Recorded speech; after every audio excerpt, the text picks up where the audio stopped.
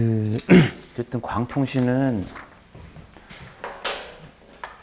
요즘 제일 중요한 거잖아요, 그죠? 실제로 요즘에 UTP 인프라보다는 광이 훨씬 더 많으니까요. 예, 실제 시험에도 뭐 한 두세 문제는 꼭 출제가 되니까. 근데 여기서 좀 빠진 부분은 그 뭐 그 폰 쪽 AON, EON 뭐 이쪽은 좀 빠졌는데 시험에서 그럼 뭐 잘 나오는 분야니까 예, 좀 정리하시면 좋을 것 같고요. 답안지가 어디 있나요 지금? 그 1번 같은 경우는 뭐 증강현실, 가상현실 이런 거는 이미 출제가 된 거잖아요. 그렇죠? 또 요즘에 또 이슈가 되고 있고 그러니까 그좀 뭐 정확하게 뭐, 뭐 답을 내기는 어렵지만 그래도 좀 그 최근에 활성화 방안 증강현실, 가상현실 응용 분야들 이런 거를 좀 잘 하나 정리해 놓으시면 좋을 것 같아요. 인터넷 같은 데 찾아보면 자료, 자료가 많잖아요. 예? IT 파인드나 이런 데서 논문도 많이 나오니까요. 음, 좀잘 정리해 놓으시면 좋을 것 같고. 그 다음에 2번 같은 경우는 한 두 분이 쓰셨는데 뭐 굉장히 잘 쓰셨더라고요. 2번도 요즘 가장 그 공동주택에서 중요한 부분이니까 그 뭐지 초고속 정보통신 인증 문서에 보면 잘 나와 있잖아요. 그죠? 그거 보시고 조금 정리하시면 좋을 것 같고 그다음에 지능형 스마트 빌딩은 지금 한 2년 동안 거의 나오잖아요. 매회. 그렇죠? 그래서 제가 그 카페에다 올려드린 자료 그거 보고 조금 보완을 하셔서 그냥 답안을 하나 딱 만들어 놓으시면 좋을 것 같아요. 여긴 조금 그 이제 지능형 스마트 빌딩 그러면 뭐, 뭐 빌딩 자동화도 있고 여러 가지 분야가 있는데 그걸 다 정리하시기는 어려우니까 또 그 문서를 보고 서, 그 서술형 정도는 하나 딱 해놓으시면 좋을 것 같고요. 그다음에 4번, 5번은 뭐 늘 나올 수 있는 거죠. 아주 가장 기본적인 문제니까요. 1번에서 분산, 증폭기, 그다음에 광섬유, 뭐 여기에 손실, 뭐 이런 것들은 그 늘 나올 수 있는 거잖아요. 그죠? 그다음에 광학적 파라미터, 뭐 이런 것들은 뭐 좀 암기를 하셔야 되는 부분이니까. 또 오늘은 지난번보다는 훨씬 잘 쓰셨더라고요. 네, 음, 조금만 더 하시면 될 것 같아요. 그래서 다음 주는 신기술 쪽 조금 하고 마지막 주에는 그 제가 페이퍼 별도의 강의 자료는 없고요. 그 논문을 한 10개 정도 드릴 테니까 그거 보시고 좀 정리하시는 걸로 이렇게 하면 좋을 것 같습니다. 보시니까 어떠세요? 잘 쓰시는 분 거 보시니까 느낌이 어떠세요? 그죠? 네. 그냥 내용보다는 어쨌든 딱 한눈에 딱 들어오잖아요. 그죠? 그, 그게 중요하거든요. 그런 답안이. 그러니까 내용이 많다고 또 내용이 너무 작으면 안 되거든요. 근데 한눈에 탁 들어오면서 아, 잘 쓰세요. 잘 쓰시는데 시간 너무 많이 쓰셔서 조금 욕심을 좀 버리시면 좋은데 좀 그렇게 하시면 좋을 것 같아요. 그러니까 답안이 한눈에 탁 들어오는 게 가장 좋거든요. 몇 분은 굉장히 글씨가 많으신 분들이 있으신데 그 좋긴 한데 다 읽어볼 수가 없으니까 좀 약간의 공백, 그다음에 약간의 그림하고 이런 걸 잘 이용을 하면 굉장히 좋은 구성이 나오니까요. 다른 분들 거 보는 게 굉장히 도움이 많이 돼요. 뭐 내용, 내용은 모르면 어쩔 수 없는 건데 뭐 모르는 건 이제 어쨌든 공부를 하면 채워지니까 지금 이제 정보통신공사법 개정안이 있는 거는 아시죠? 예. 뭐죠? 이번에 개정안이? 그 주가 뭔가요? 주가? 2조 2조 7호 8호 그게 뭐예요? 2조 그런. 네. 아니 저희 지금 요새 그거 스터디하고 있거든요. 이거 아니 개정이 안된 거는 시험에 안 나오니까요. 뭐 굳이? 아니 그러니까 아직 뭐 법사위에서 아직 이 통과가 안 됐으니까 아, 그렇죠. 예. 그렇죠. 예. 배치 배치 의무제가 법 조항에 들어갔거든요. 그러니까 이제 이제 아니 아니 그러니까 이제 이게 뭐 법이 있고 그죠? 법이 있고 이제 시행령이 있고 이제 시행 규칙이 있고 이제 그 저희가 이제 약간 공사업법이 좀 애매한 게 감리 배치에 대한 좀 명확한 기준이 좀 모호하거든요. 그래서 감리 배치 신고제가 의무화 법안이 지금 올라가 있어요. 그래서 만약에 신고를 안 하면 이제 300만 원, 이제 잘못 신고하면 500만 원 벌금이에요. 이게 들어가 있고. 그래서 이게 올해 통과가 되면 이제 시행령에 이제 그 뭐 배치 인원, 뭐 금액, 뭐 이런 게 이제 들어가겠죠. 지금은 그냥 뭐 100억 이렇게 돼 있잖아요. 100억, 70억, 뭐 30억, 5억 뭐 이렇게만 돼 있잖아요. 근데 근데 이제 몇 명을 언제부터 배치해라 이제 이런 게 명확하지가 않아서 이제 요게 되면 밑에다가 이제 그 배치를 어떤 식으로 할 거냐 뭐 소방이나 전기 뭐 이런 쪽은 그 뭐 용 그 전력 용량이라든가 소방 규모에 따라서 뭐 이제 규모로 하죠 대부분 규모 규모나 이제 전, 전기 같은 경우는 용량 이런 거에 따라서 뭐 규모가 얼마 정도 이상이면 뭐, 뭐 특급의 한 명에 뭐 고급 두 명 뭐 이런 기준이 있어요. 뭐 전기도 똑같죠. 근데 통신은 아직 이런 게 없어서 이제 약간 배치에 대한 게 조금 그 문제가 이- 있죠. 예. 그래서 그 요게 이제 신고제가 신고를 할가 되면 이제 이게 신고제가 되면 이게 지자체에다가 신고하라고 돼 있거든요. 지자체장에다가 감리 배치 신고에 대한 그 신고가 의무화가 이렇게 법조항에 들어갔는데 근데 지자체에서는 본인들이 할 수 없으니까 이제 지금 이제 봉사협회나 이런 데다가 이제 의뢰를 하겠죠. 당신들이 좀 대신 해줘라. 뭐, 뭐할 수도 있고 안 할 수도 있고 그러면 이제 우리 저희도 그 전기 쪽이 그래요, 그죠? 전, 전력기술관리법 하에서 그 전력기술인 협회에다 협회에다가 다 신고하고 이제 다 배치하는 내용들이 다 들어가 있거든요. 그런 개정안을 좀 열람할 수 있는 사이트가 있어요. 법제처에 갔으면 되죠. 법제처에 가면 현재 올라가 있는 거, 계류 중인 거 이게 다 올라가 지금 있거든요. 그래서 어쨌든 11월에 뭐 한다고는 했는데 뭐 모르겠어요. 어쨌든 예, 예, 그래서 이제 배치 인원 그 통신은 지금 금액으로 돼 있잖아요, 그죠? 통신 금액 100억 이상, 70억에서 100억 미만 뭐 이렇게 돼 있는데 이것도 좀 애매한 부분이거든요. 그러니까 통신공사를 어디까지 볼 거냐에 따라서 금액이 좀 차이가 나서 아마 이것도 근데 이게 이제 조정이 좀 되겠죠. 그래서 뭐 건물 규모로 하려고 하는 것 같더라고요.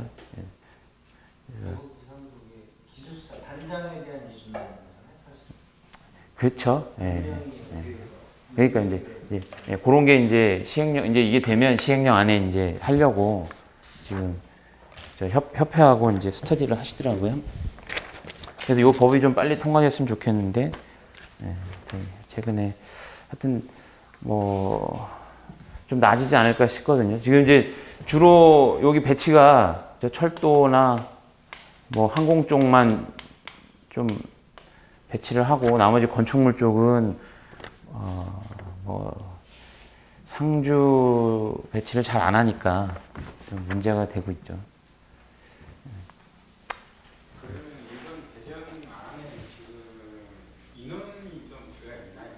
아니, 그러니까 법이 개정이 되면 그때 시행령에 넣는 거죠. 이제 시행령은 이제 대통령령이니까 뭐 하기가 어- 쉽잖아요.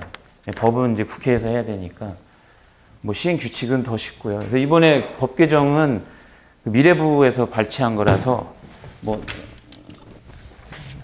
뭐 특별한 이유가 없는 이상은 그냥 통과가 될 거라고 하는데 뭐 법사위가 안 열리니까 지금 계속 문제가 되고 있죠. 뭐 빨리 공부하셔서 빨리 따놓으면 뭐 더 그 좋아질 일만 남아 있으니까 빨리 공부하시면 좋을 것 같아요. 근데 공부를 좀 많이 하셔야 돼요. 지금 다른 그 오래 하신 분들도 많고 잘 하신 분들 진짜 많으시거든요. 이제 양도 좀 공부도 좀 많이 하시고 여기 그 저희 가지고 있는 교재만 가지고는 좀 어려우니까 좀 더 보완하셔서 준비하시면 좋을 것 같습니다. 자, 1번 자율주행차죠. 자율주행차. 뭐 요거는 계속 나올 수 있는 그 분야죠. 자율주행차. 그래서 그 구- 국내에서의 그 자동차 관리법이라는 게 있어요. 자동차 관리법에 보면 저 자율주행차는 저 운전자 없이 자, 없이 운전자 없이 스스로 운행되는 자동차 이게 이제 그 자율주행 자율주행차가 되는 거죠. 자율주행차. 요즘에 그 자율주행 차도 있고요. 저희 첫째 시간에 했던 거 뭐였죠? 자율주행? 우리 첫째 시간에 했던 거 있었잖아요. 뭐 있었죠? 자율주행. 선박 있었잖아요. 선박. 네, 선박. 이게 선박도 이게 그 뭐야 사고가 많이 난다잖아요. 그래서 자율주행 선박이라는 용어도 좀 나오고 있고 네, 자율주행 차라는 용어도 그 나오고 있죠. 그래서 여기 이제 가장 기본적인 용어고 이제 비- 요소 피- 기술이 있죠. 요소 기술 꼭 들어가야 되는 항목들. 물론 이제 뭐 그림이 있으면 더 좋을 거고요. 이렇게 요소 기술 가장 중요한 게 이제 센서류죠. 센서. 지난번 이제 시험에 나왔던 게 뭐였죠? 센서 중에 시험에 라이다가 나왔었잖아요. 이제 라이다. 가장 중요한 센서죠, 라이다. 레이저하고 레이, 그러니까 레이저를 이용한 레이다죠, 그렇죠? 레이저를 이용한 레이다. 그러니까 레이저가 빛이 이렇게 산란이 잘 돼서 물체를 구분하기가 좋다, 좋다는 거잖아요. 그래서 요 LiDAR가 시험에 나왔으니까요. 그 다음에 위치 인식이죠, 위치. 위치 추적을 해야 되니까 위치 추적을 위한 이제 GPS가 꼭 예, 필요할 거고요. 그 다음에 이제 판단하고 이제 제어하는 기술 이런 게 이제 필요할 거고. 그 다음에 이제 중요한 게 예, HCI, Human Computing Interaction, 이제 상호작용이라고 하는. 상호작용.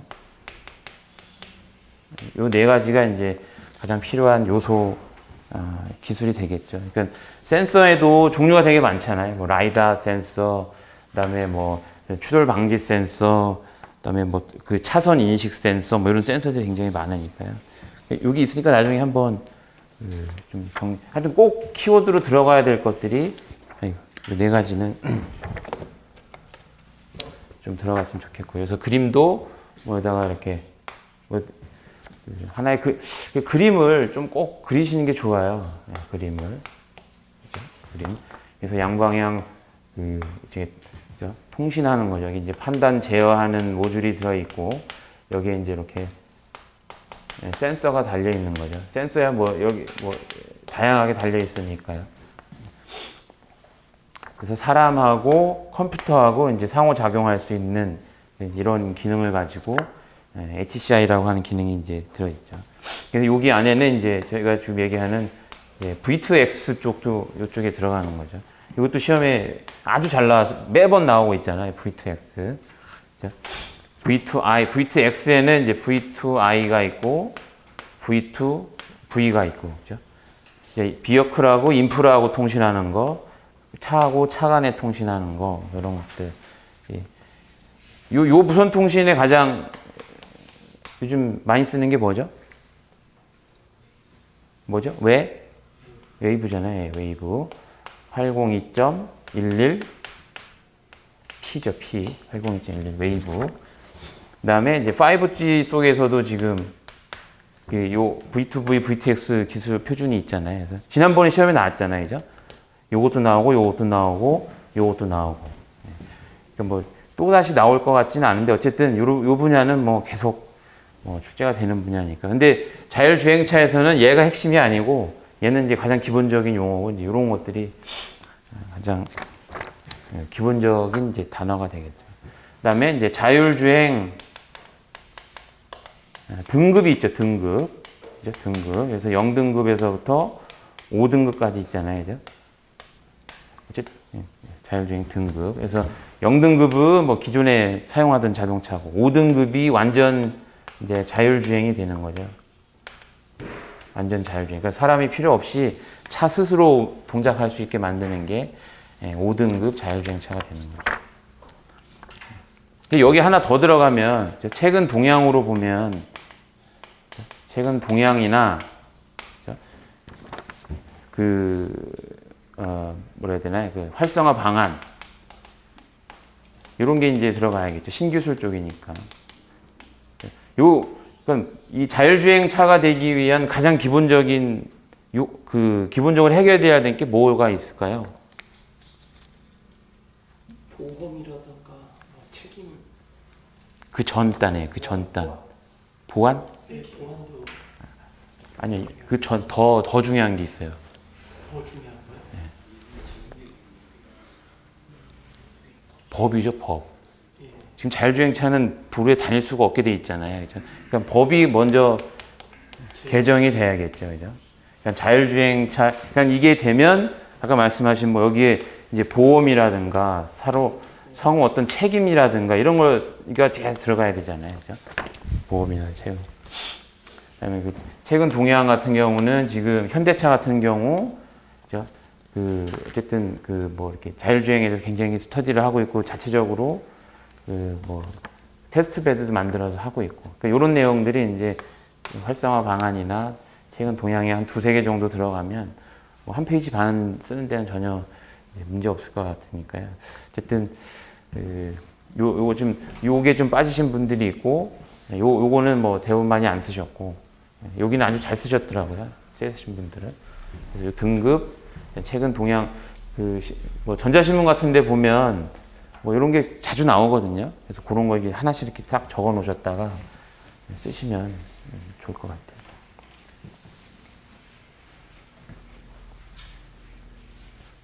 그래서 어쨌든 기술사 시험은 어쨌든 답이 나와야 되고 키워드가 나와야 되기 때문에 꼭 좀 그런 거를 좀 넣으셨으면 좋겠습니다. 그 다음에 광섬유의 분산이죠, 분산. 부, dispersion. 분, 아니, 분산. 그래서 광섬유에는, 그죠? 광섬유. 광섬유 자체적으로 갖고 있는 분산도 있고, 손실 특성도 있죠, 손실. 손실. 근데 손실은 어쨌든 어느 정도 개선이 가능한데 분산 같은 경우는 그 자체적으로 가지고 있는 거기 때문에 좀 그 개선하기가 좀 쉽지가 않은 부분이죠. 그래서 분산은 빛, 빛 퍼짐 현상이죠. 퍼짐. 빛이 퍼지면서 전기적 신호로 보면 이렇게 심볼 간에 간섭이 생기는 것처럼 나오는 게 분산이죠. 분산. 그래서 분산에는 음, 두 가지가 있죠. 두 가지. 두 가지. 그래서 모드 내 분산이 있고 모드 간 분산이 있죠. 모드 내 분산, 모드 간 분산. 그래서 모드 내 분산에는 음, 색분산이 있고 음, 편광 모드 분산이 있죠.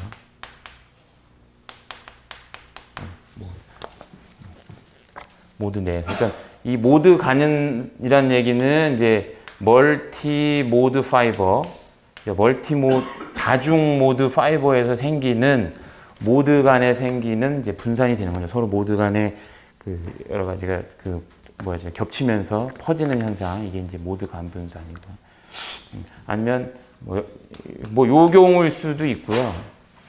요 경우일 수도 있고 아니면 WDM 이렇게만 헷갈리시니까 이렇게 그래서 모드 색 분산에는 이제 구조 분산 색 분산이라는 얘기는 구조 분산하고 재료 분산을 이렇게 합쳐 놓은 게 이제 색 분산이 되는 거죠. 그래서 예전에는 이 분산이 크게 중요하지 않았어요. 더 중요한 게 이 손실이었어요. 손실. 손실. 왜냐면 손실이 광섬유가 가다가 접속점에서 생기는 손실이 있고, 그죠? 가다가 이렇게 뭐 어떤 외부의 충격에 의해서 이렇게 눌리는 현상에 의한 손실이 있고요. 그다음에 광섬유 자체가 가지는 손실이 있고, 그러니까 이 손실을 어떻게 보상해 줄 거냐, 요게 이슈였어요. 손실을 어떻게 보상해 줄 거냐. 그래서 손실을 보상해 줄 수 있는 가장 좋은 방법이 뭔가요? 진폭기요. 그죠. 예, 증폭기를 쓰는 거죠, 증폭기. 그래서 증폭기 기술도 음, 굉장히 중요한 부분의 하나였기 때문에 그래서 예, 손실에 대한 문제가 많이 나왔었고 예전에. 그럼 얘를 어떻게 보상할 거냐? 예, 증폭기 전 전에는 뭐가 있었죠? 그렇죠. 그 generator 어, 중계기죠, 중계기. 중계기라는 게 있었죠, 중계기. 예. 그러니까 중계기라는 얘기는 어, 광신호가 왔으면 전기 신호로 바꿔서 증폭해서 전기 신호를 다시 광신호로 보내는 게 이제 중계기였는데 얘의 가장 큰 문제점은 뭔가요? 중계기의 문제점. 뭐 비용도 많이 들고요, 또 복잡한 복잡한 것도 있고. 전기 신호로 바꿔서 해야 되기 때문에 복잡하다. 그렇죠. WDM이 불가능해요. WDM. 왜냐면 파장 자체를 여러 개가 있는 파장을 전기로 바꿔서 증폭한다는 게 이게 가장 큰 문제였어요. 그러니까 WDM 신호를 증폭하기 위해서는 어떻게 해야 되나요? 그냥 빛 자체를 증폭해 줘야 되는 거죠. 그래서 이 증폭기 문제가 많이 나왔었어요. 증폭기. 아주 옛날에는 중계기가 나왔었죠. 그래서 뭐 3R 중계기였잖아요. 뭐죠? regeneration, reshaping, retiming, regeneration. 제, 쉬- 아, generation. 예. 그러니까 요게 이제 뭐 50회, 60회 때 나왔던 문제죠. 근데 그 다음에 나왔던 게 이제 그러면 어, 이제 증폭기 문제였고요. 이제 증폭기도 이제 이미 어느 정도 완성이 됐다고 보는 거죠. 근데 요즘에 이슈가 되는 게 여기에요, 이제 여기. 요쪽. 예, 요쪽. 혹시 이유를 아세요? 왜 요쪽이 문제가 되는지? 비트 수가 많아지니까 전송률이 높아지고. 그렇죠. 그러니까 전송률이 지금 이제 100기가까지 올라가고 있잖아요. 그죠? 100기가까지. 100기가까지 올라가면서 그 100, 그러니까 10기가, 1기가 이때는 요 색분산 자체가 이슈였는데, 그죠? 40기가, 100기가가 올라가는 주처는 요 평광 모드 분산이 굉장히 이슈라는 거예요. 얘를 해결하지 못하면, 그러니까 색분산을 해결하지 못하면 뭐 10기가, 뭐, 아니, 이제 1기가, 10기가 전송기가 안 됐었는데, 그러니까 얘, 얘가 어느 정도 해결이 되니까, 그러니까 구조 분산이나 재료 분산은, 그죠? 광케이블 재료를 잘 만들거나 더 좋은 게 뭔가요? 빛이죠, 빛. 다이오드를 굉장히 정밀하게 만드는 거죠. 그래서 어, 거의 다이오드는 다 일제잖아요. 다 일제예요, 다이오드는. 그러니까 요만한 거 다이오드 하나에 뭐 몇십만 원씩 하더라고요. 그래서 요게 어, 10기가 이하일 때는 요거 있지만 한 40기가가 넘어가면 요게 중요하다는 거죠. 이 편광 모드.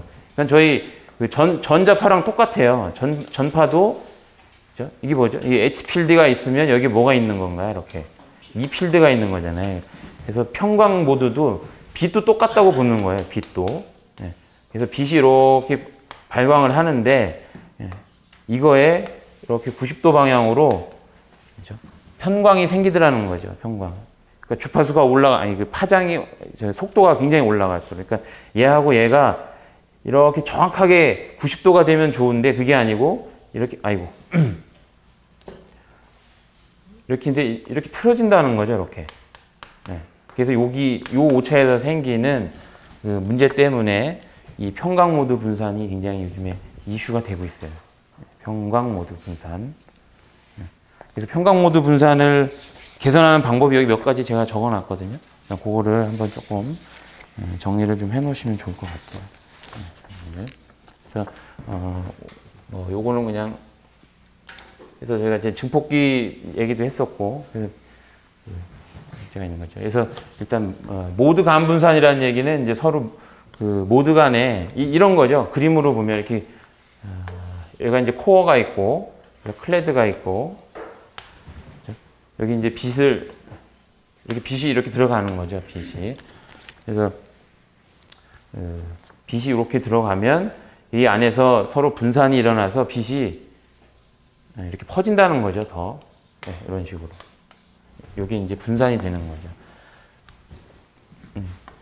그래서 여기를 예, 시간으로 보면 여기 델타 t고 여기가 이제 이만큼이 예, 델타 t면 이만큼 늘어난 요거 그죠? 요만큼 늘어난 거 예, 델타 t 플러스 알파 요 요거 요거를 얼마큼 줄일 거냐가 굉장히 중요한 거죠. 예, 모드가 물론 얘도 그렇고 얘도 그렇고 근데 모드간 분산은 예, multi mode에서 생기는 이제 분산을 모드간 분산이라고 하죠. 뭐 교재에도 있지만 모드간 분산을 해결할 수 있는 방법은 뭔가요? 그러니까 편광 모드 분산이나 색, 색 분산을 그 저 보상할 수 있는 방법은 제가 여기 몇 가지 써놨거든요. 이 색 분산을 보상할 수 있는 가장 좋은 방법이 뭔가요? 뭐죠? 그렇죠. 예, DSF. 예, DSF. DSF죠. DSF. 예, dispersion shift fiber. 또 뭐 있죠? NZ DSF fiber. 이런 걸 쓰는 거죠. 색 분산은. 색 분산. 그러니까 색 분산은 약 한 10기가bps 이하 전송에서 저, 그, 뭐 분산을 shift 시킨 fiber를 쓰거나 아니면 non 그러니까 제로를 만들지 않은 DSF를 쓰거나 이렇게 만들어 쓰는 게 이제 색 분산을 보상하는 방법이고 편광 모드 분산을 보상하는 방법은 여기 뭐 용어가 좀 어려워요. 몇 가지가 있는데 한번 뭐, 뭐 압력을 쓰는 방법도 있고 뭐 전기 신호로 변환시켜서 쓰는 방법도 있더라고요. 뭐 편광 제어기 뭐 이런 것도 있는데 한번 읽어보시고요. 네.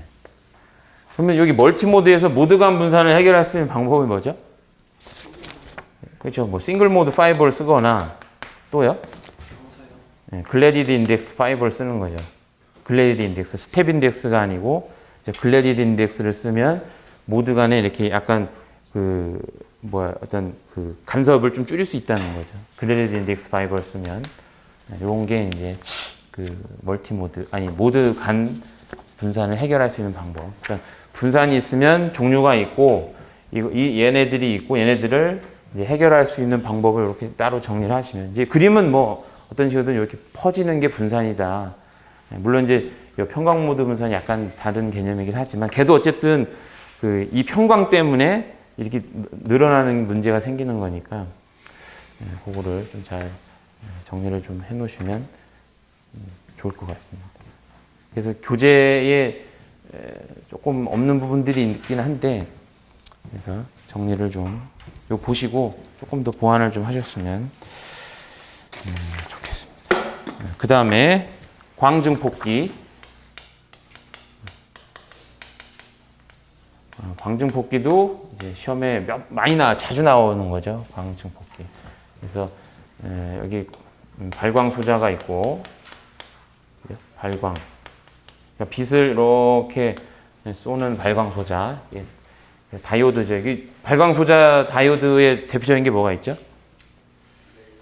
레이저 다이오드 그죠? 예, 레이저 다이 아이고. LED나 그죠? LED나 레이저 다이오드 같은 거. 요게 이제 발광 소재죠, 발광. 그래서 이게 광섬유로 이렇게 가면서 중간에 증폭기를 쓰고 이렇게 가서 이렇게 해서 이제 이쪽이 수광이 되는 거죠, 수광. 수광. 이 수광 소재의 대표적인 게 뭐가 있죠? 핀 다이오드하고 APD 같은 것도 있고 뭐 여러 가지가 있죠. 그래서 이 핀 다이오드는 뭔가요? 빛을 받아서 그 빛의 전류를 측정해서 전압으로 바꿔주는 게 핀, 이, 다이, 이 핀 다이오드의 목적이잖아요. 이것도 시험에 나온 적이 있죠. 핀 다이오드만. 그래서 지금 물어본 건 요거죠. 요거 증폭기. 광증폭기. 그냥 빛, 광증폭기. 그러니까 그 광섬유 자체의 방섬유 자체의 특성을 이용해서 빛을 밝게 해주는 거죠. 그죠? 밝게 해주는 거잖아요. 증폭하는 게 아니잖아요. 빛을 키워주는 게 아니고 더 밝게 해주는 게 증폭기인 거잖아요. 빛을 그 어차피 가다 보면 빛이 흐려질 수밖에 없거든요. 이렇게 흐려지는데 얘를 저- 여기다가 뭔가 뭔가 이제 펌핑 레이저 같은 거를 집어 넣어서 뭔가 펌핑 레이저를 집어 넣어서 요 자체 광섬유 자체에서 빛을 더 밝게 해주는 거죠. 밝게 그래서 밝게 해서 넘어가게 해주는 게 증폭기죠. 그러니까 이 우리가 얘기하는 증폭기는 이런 신호를 이렇게 뻥 튀기는 게 증폭기인데? 광증폭기는 이런 개념이 아니죠. 빛을 더 밝게 해주는 개념이 이제 광증폭기가 되는 거죠. 그래서 종류에는? 종류에는 뭐가 있죠? 종류 ED, FA가 있고, 그다음에 라만 증폭기가 있고, 그다음에 반도체 증폭기가 있고. 네. 그래서 가장 많이 쓰는 게 이제 요 라만 증폭기죠. 라만 증폭기. 얘는 이제 광대역 증폭기죠. 광대역. 음, 광대역 증폭기. 음, 주로 저희가 광통신에서 쓰는 파장을 보면 광통신에서 쓰는 주로 파장 음, 이쪽이 이제 손실이 될 거고요. 이쪽이 이제 분산 특성이 될 거고 분산. 여기가 몇 나노 대역이죠? 850 나노 대역이죠. 여기 여기는요? 1310 나노 대역이고 여기는 1550 나노미터 대역이 되는 거죠. 50 나노. 그래서 850 나노, 1310 나노메타, 1550 나노메타 대역을 주로 쓰는 게 광통신이죠. 그래서 1550 나노가 손실이 가장 작잖아요. 850 나노가 손실이 가장 크고. 그래서 1310 나노가 이제 물론 대역폭은 좁지만 이게 대역폭이 손실이 떨어지는 대역폭이 좁잖아요. 그래서, 그래서 주로 어, WDM을 쓰는 쪽은 요, 요쪽이겠죠. 왜냐하면 대역이 넓으니까. 대역이 넓어. 그래서 1310나노를 써서 천, 아니, 850에서 1550나노까지 쓰는 게 이제 광통신에 쓰는 그 파장 대역이죠. 그래서 여기 이렇게 더 그려보면 저, 요 점이 이렇게 되는 거잖아요. 여기 이제 분산 특성이잖아요. 분산. 이게 무슨 의미죠? 여기가 분산이 0이에요. 0. 제로. 제로. 음. 그래서 일반적인 광섬유는 어디서 1310나노에서 분산이 거의 제로라고 보는 거죠. 제로. 1310나노 대역에서 제로. 근데 WDM을 쓰려면 분산 값이 더 플러스가 돼 버렸잖아요. 그죠? 여기 이제 마이너스가 될 거고요. 그래서 얘를 이 분산을 이쪽으로 이동시키는 거죠. 이렇게. 네, 이렇게. 그래서 분산 분산 값을 1550나노에서 제로가 되게 만든 게 무슨 케이블이었죠? 이게 이게 DSF잖아요. DSF.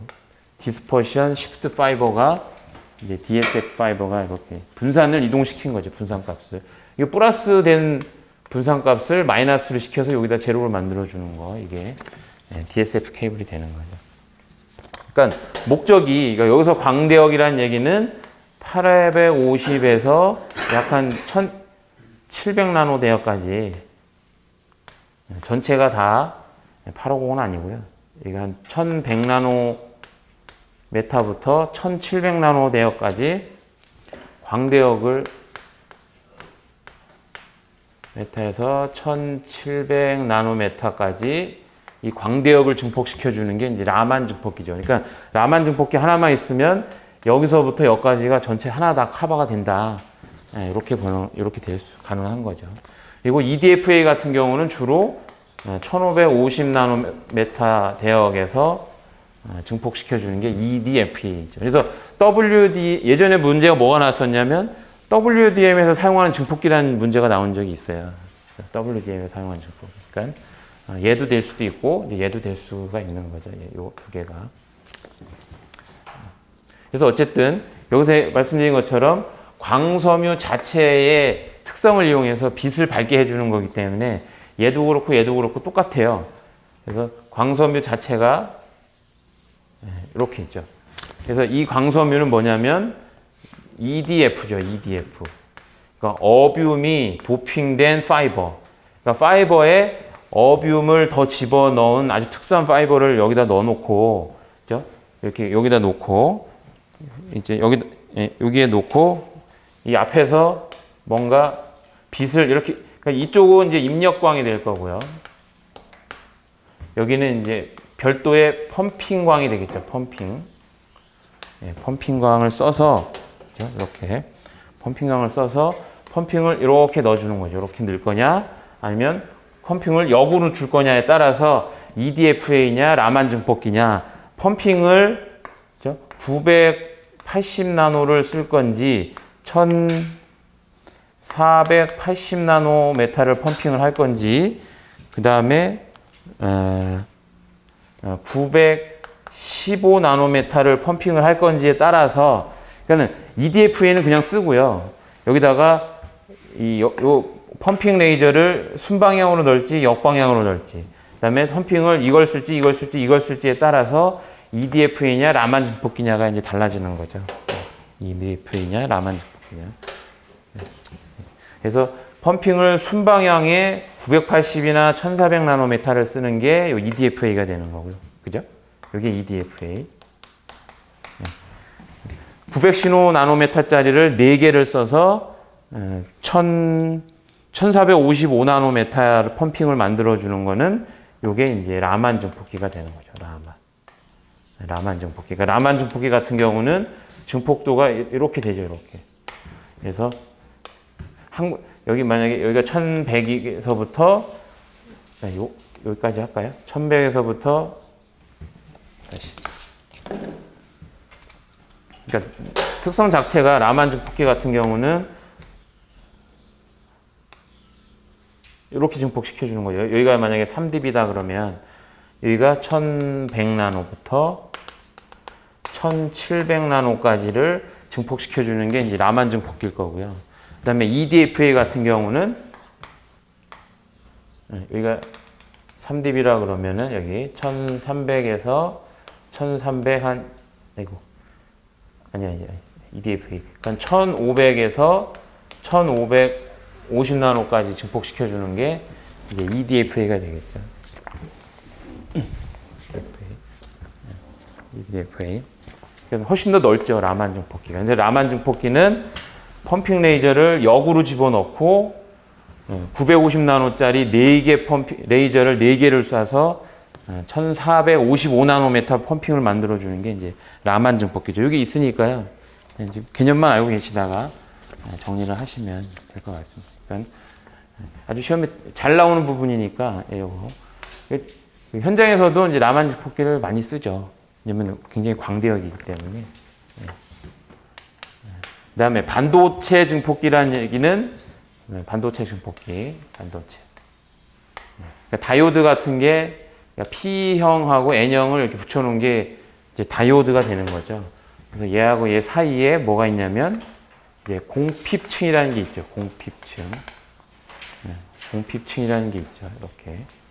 그래서 전류가 이렇게 흐르면 여기에 있는 플러스가 이렇게 마이너스로 이렇게 이동해 가는 거. 그래서 요 공핍층이 얼마나 넓으냐에 따라서 자유전자가 얼마나 자주 이동하느냐 이제 이런 게 이게 반도체잖아요.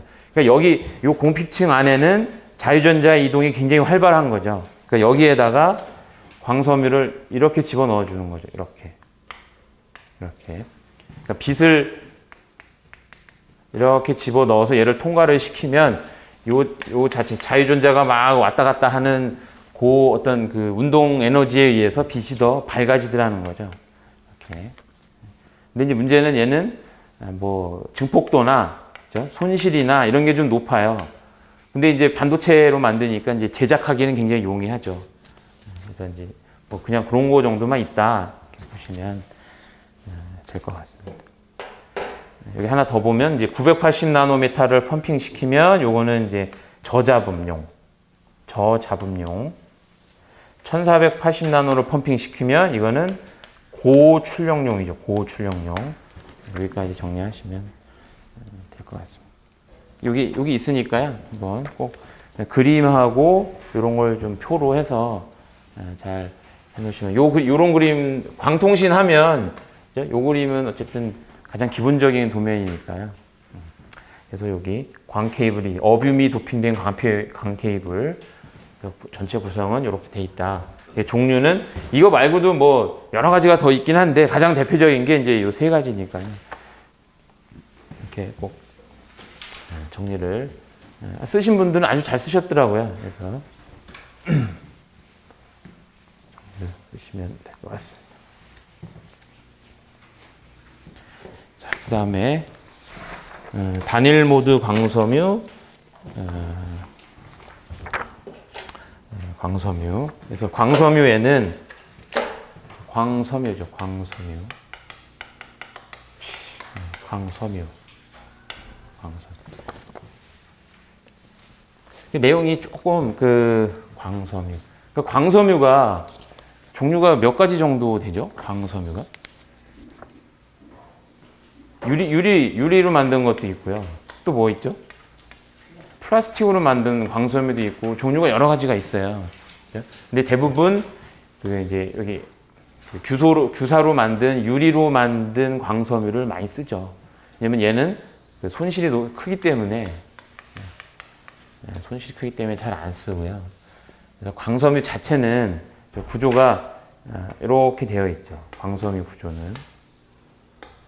가운데 이제 코어라고 하는 부분이 있고 아, clad라고 하는 부분이 있죠. 그래서 광섬유의 전체 굵기는 얼마죠? 125 마이크로메타죠. 예. 어. 그러면 코어는요? 싱, 그러니까 지금 저희가 얘기하는 단일 모드, 그 다음에 다중 모드. 네.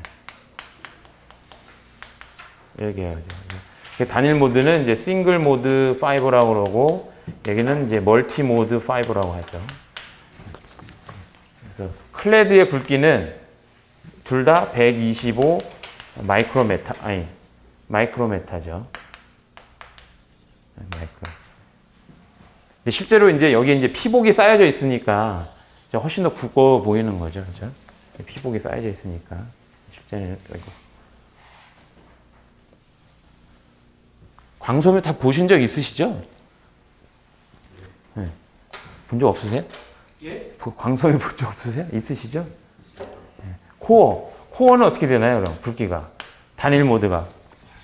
네, 10마이크로메타짜리 하고, 아, 10마이크로메타죠. 그 다음에 다중 모드는요? 50 마이크로메타짜리도 있고 62.5 마이크로메타짜리도 있고 이게 가장 기본이에요 이게 근데 이거를 많이 안 쓰셨더라고요 그러니까 그림도? 코 이제 코어가 있고 clad가 있고 그러니까 빛을 빛은 이쪽으로 들어가는 거잖아요 그죠? 코 이, 이쪽에 빛을 이렇게 아이고 이렇게 그리는 게 가장 좋죠 여기다가 다이오드니까 이런 식으로 그리죠. 다이오드에서 빛을 음, 발광을 하면 이게 코어로 들어가서 코어하고 clad 사이에서 어떤 현상을 통해서 전파하는 건가요? 이제 전반사를 통해서 이제 전파하게 되는 거죠.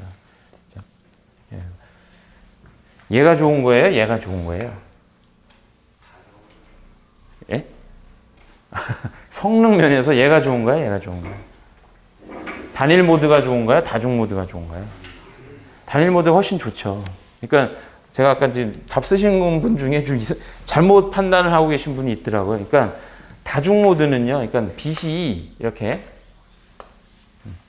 이- 이 발광 다이오드가 이 발광 다이오드 다 성능 자체가 아주 낮은 거예요. 발광 자체. 그러니까 이 LED 자체의 이 그 이 빛이 뭐 이- 이렇게 나온다고 보시면 돼요. 그러니까 이게 여기 광, 이렇게 들어가면 예, 이- 그리고 광섬유 자체도 굵고 그죠? 굵고 그저 이 이제 가격도 싸고 그러니까 여기서 빛이 이렇게 퍼진다는 거예요, 이렇게 자체적으로. 빛이 퍼짐에 의해서 예, 그러니까 하나의 빛을 쏴도 여러 개가 동시에 가더라는 거죠. 이게 multi mode예요. 근데 이렇게 되면 뭐가 발생하나요? 모드 간에 그게 뭐예요? 아까 분산이었잖아요. 그- 그래서 모드 간에 분산이 생겨서 안 좋은 거죠. 그러니까 다중 모드는 모드 간 분산이 생기니까 성능이 저하될 수밖에 없는 거죠. 근데 왜 쓰나요? 저한데. 싸니까 쓰는 거죠. 싸고. 그래서 다중 모드는 그 현장에서 한 2km 이하, 2km 이하. 예, 속도는 한 완지급 이하에서는 뭐 전혀 문제가 없어요. 그럼 광 케이블이 있으면 그죠? 이- 요, 요 빛을 발하는 요 모듈이 하나 있어야 되잖아요. 빛을 발하는 모듈. 빛을 발하는 모듈이 있죠. 이게 이 빛 만드는 모듈을 뭐라고 혹시 아세요? 그죠? GBIC이라고 하죠. GBIC 모듈. 예. 예, GBIC 모듈이 있죠. 그러니까 GBIC 모듈이 예를 들면 single mode GBIC 같은 경우는 개당 한 7, 8만 원씩 해요. 한 10만 원 예를 들면. 근데 multi mode 같은 경우는 한 만 원 정도 싸죠. 훨씬 더 싸고. 그리고 어쨌든 지빅을 꽂으려면 뭐가 필요한가요? L2 스위치가 필요하잖아요. L2나 L3 스위치가. 그래서 여기 광 케이블이 이렇게 아, 아, 아이고. 네, 광 케이블이 G빅 모듈이 꽂아지고 L2 스위치에서 이렇게 이제 UTP로 뭐 예를 들면 연결이 되겠죠. 이런 식으로. 그러니까 이 L2 스위치 자체도 만약에 그냥 multi mode 전용이면 훨씬 싸죠. 굉장히 싸고. 근데 예, 최근에는 뭐 워낙 가격이 많이 떨어져서 대부분 다 이제 single mode로 어, 주로 그 사용을 하게 되어 있죠. 사용을 하죠. 대부분 single mode. Single mode는 거의 이제 그 성능 여기가 2km 이하 예, 싱- 단일 모드는 성능이 좀 우수해서 뭐 20km 이상 그래서 이제 주로 이제 고성능이죠. 고성능. 고성능. 그러니까 이 코어의 굵기가 얇기 때문에 저 서로 반사도 없고 이런 모드 간 분산도 생기지 않기, 않, 않는 특성을 어, 가지고 있는 거죠.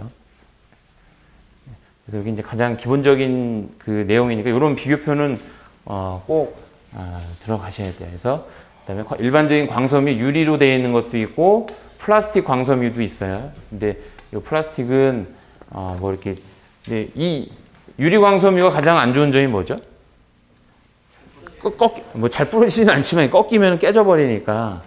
근데 이 플라스틱은 약간 더 어, 좀 유연하죠. 예, 그래서 예전에 이제 이런 게 시험에 나온 적이 있어요. 한번 두 개를 비교하라는 문제도 있었거든요. 아주 옛날에. 지금은 안 나오지만.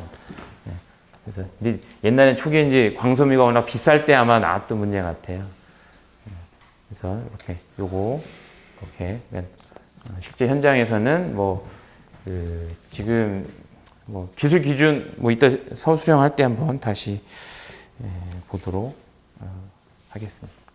그래서 어, 조금 더 예, 그냥 여기까지만 하겠습니다.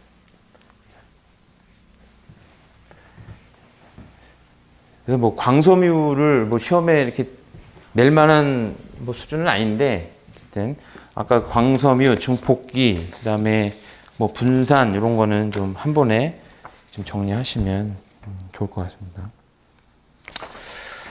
그다음에 요즘에 가장 시험에 많이 나오고 있는 이제 지능형 스마트 빌딩이거든요. 지능형 스마트 빌딩. intelligence 뭐 IBS 예, intelligent building 요즘에 이제 하도 용어들이 많이 나와서 그래서 지능형 어, 스마트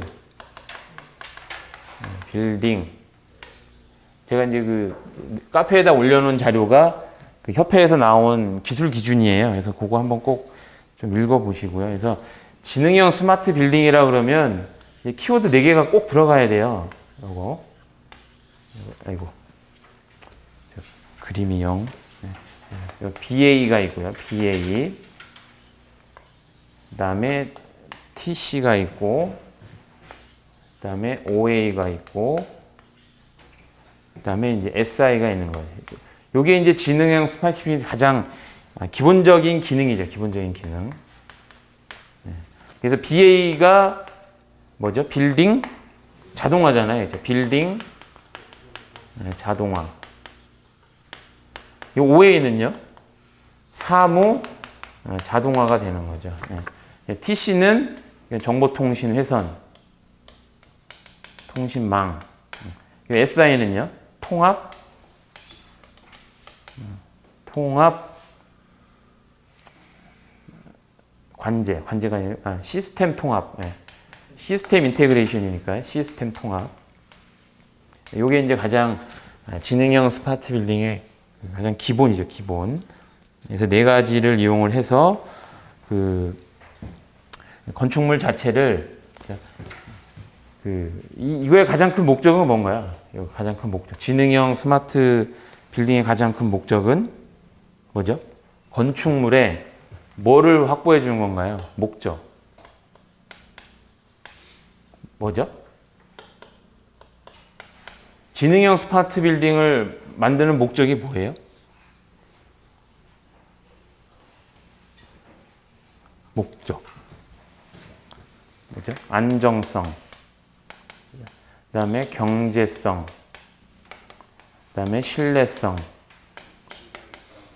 다음에 뭐 기능성. 그 다음에 뭐 효율성. 네, 이런 거죠. 이제 건축물 자체에 아, 그 안정적으로 어떤 신뢰 어떤 기능이 안정적이고 아주 신뢰적으로 잘 돌아갈 수 있게 만들어 주는 게 예, 지능형 스마트 빌딩이 되는 거죠. 그래서 이거를 이용해서 가장 큰 목적은 이런 그 어떤 목표를 가지고 가장 큰 목적은 그 어, 뭐죠 이거? 어, 아이고 뭐라 그러죠 이거? 전력. 아니 아니 어, 아 에너지. 예, 에너지. 에너지 절감이죠 에너지 절감. 음, 가장 큰 목적이 에너지 절감을 하겠다는 거죠. 에너지 절감. 네, 요즘 이제 이게 가장 이슈잖아요. 핵심 이슈. 그래서 에너지 절감을 위해서 또 별도의 용어가 나온 게 있어요. 이 시스템 이름이. 뭔가요? 뱀스죠 뱀스. 네. 네, 똑같은 내용인데 그죠? 예, 그 기계 쪽에서 그러니까 에너지 절감의 주가 이제 기계 설비 쪽이거든요. 기계 설비. 그러니까 뭐 냉동, 공조, 그다음에 뭐 또 뭐가 있나요? 냉동 공조, 그다음에 뭐, 뭐 위생, 뭐. 뭐 이런 것들 하는 게 이제 기계 설비 쪽이죠. 그래서 거기서 건축물 에너지 절감을 위해서 만들어낸 용어가 이제 BEMS죠, BEMS. 그래서 building energy management system이잖아요. 그러니까 이거나 이거나 똑같은 개념인데 그쪽에서 만들어 놓은 용어가 되는 거죠. 그래서 에너지 절감을 위해서 BEMS라는 게 어쨌든 BEMS라는 시스템이 있으면 이 하위에 단말들이 있잖아요. 그죠? device들이. Device들이 쭉 있죠. 그 device에는 뭐가 연결되어 있냐면 이제 센서가 또 다 연결되어 있죠. 이렇게. 센서가. 센서들이 있죠. 이제 가장 많이 쓰는 게 뭐 온도 센서라든가, 그 다음에 온도를 측정을 해야 되니까요. 그 다음에 뭐 제어를 한다든가, 그죠? 오, 그러니까 온도 센서를 통해서 뭐야 냉방을 올렸다가 내렸다가 이런 게 제어잖아요. 그죠? 환풍기를 열었다 닫았다. 뭐 이런 게 이제 그다음에 에어컨을 틀었다 껐다 해주는 게 이제 이런 제어 부분인데 이런 단말들을 이 뱀스 시스템하고 하나의 네트워크를 이렇게 연동을 해서 이렇게 가겠다는 거죠. 그래서 요 표준이 뭐였죠? 요 표준이 요 요거 용어로 만들어낸 통신 표준이 뭐였죠? 그렇죠. 예, 백넷입니다. 백넷. 예. 아까 누가 쓰셨던데 백넷이에요. 백넷. 그러니까 백넷이라고 하는 프로토콜은? 이 뱀스를 위해서 하위단하고 상위단을 하나로 묶어주자. 왜냐하면 가장 문제가 뭐냐면요. 이런 온도 센서들, 제어 시스템들, 그다음에 운영 시스템들이 다 제, 제 각각이에요. 통신 모듈도 그렇고 방식도 그렇고. 그래서 백 물론 백넷 안에는 뭐 이더넷도 있고 사파로도 있고 여러 가지가 있어요. 이제 그거를 하나의 프로토콜로 만들자. 그래서 이제 만들어 놓은 게 이제 백넷 프로토콜. 이게 전용이에요. 근데 어, 시험에도 한번 나온 적이 있죠. 시험에도. 근데 이쪽에서 안 할라 그래요. 이쪽 하위 하위 시스템에서. 왜 그럴까요? 왜 그럴 것 같으세요? 안 할라 그래요. 이거를. 예? 믿을 수 없다. 그죠. 돈이 안 되는 거죠. 돈이. 왜냐면 자기네들 단독 시스템을 가지고 있어야만 자기네들이 운영도 하고 자기네들이 유지 보수도 할 수 있기 때문에 잘 안 하려 그러더라고요. 아니면 아예 그 PLC 같은 프로그래머블로 그냥 박아놔 버려요. 자기네들 어떤 라이센스를 거는 것처럼. 이런 게 좀 좀 문제긴 한데 그래서 예. 현장에서는 이제 좀 그 좀 말이 좀 악유가 있죠. 그러니까 백넷을 안 쓰게 되면 어떻게 하냐면 얘랑 연동하기 위해서 뭔가 뭐 이쪽은 485다 그러면 485를 이더넷으로 바꿔서 올리든가 뭐 모드 버스는 이더넷으로 바꿔서 또 이런 이제 변환하는 과정들이 또 굉장히 많이 필요하거든요. 뭐 어쨌든 요거는 그러니까 백넷도 시험에 나온 적이 있고 뱀스도 나온 적이 있고 그죠? 그다음에 이런 에너지 절감 이런 게 이제 시험에 여러 번 나왔었죠. 근데 이건 이제 어쨌든 용어 자체가 기계 설비 쪽 용어이기 때문에 실제로 통신 쪽에 정보 통신 쪽에서는 요거죠. 지능형 스마트 빌딩이라는 용어가 이제 나오고 있는 거죠. 그러니까 어, 에- 이 서술형에도 있지만 서술형 문제에서 그 비- 스마트 빌딩에서 빌딩 자동화 설비라는 게 있어요. 뭐 여러 가지 설비가 있는데 그래서 그 예, 빌딩 자동화 설비, 빌딩 자동화 설비죠. 요거 빌딩 BA, 네, BA. 그러니까 빌딩 자동화 설비가 주로 이런 걸 이용해서 에너지 절감을 하겠다는 게 이제 가장 큰 목적이 되는 거죠. 목적.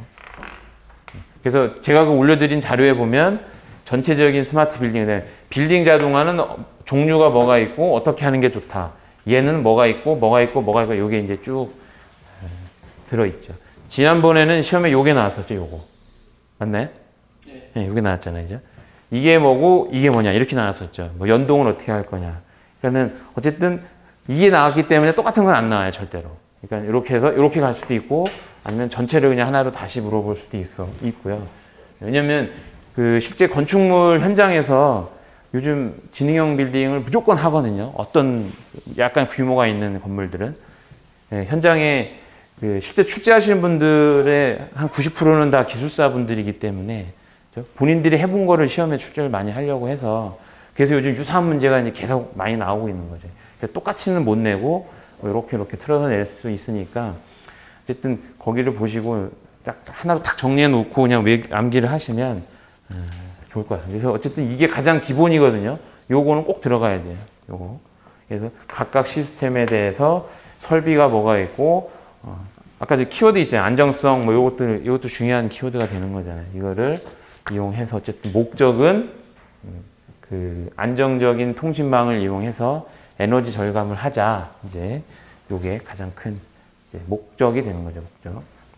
거기에는 방- 백넷 같은 프로토콜은 없어요. 그. 없죠. 네, 그런 거.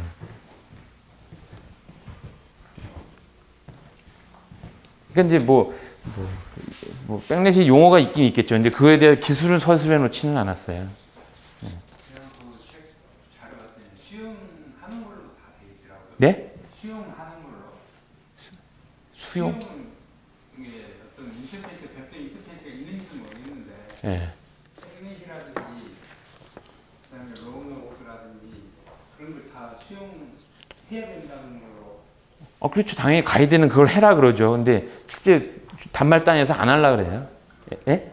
설치 적용을 안 하고 있다 이거죠. 그렇죠. 예. 뭐 해도 그만 안 해도 그만이기 때문에 왜냐면 표준이라서 해놓으면 좋죠. 왜냐면 연동하기도 좋고 좋은데, 그러니까 그 실제 이 뭐 SI 있잖아요. 이제 시스템 통합도 똑같은 얘기거든요. 시스템 통합이나 뱀스나 뭐나 이제 다.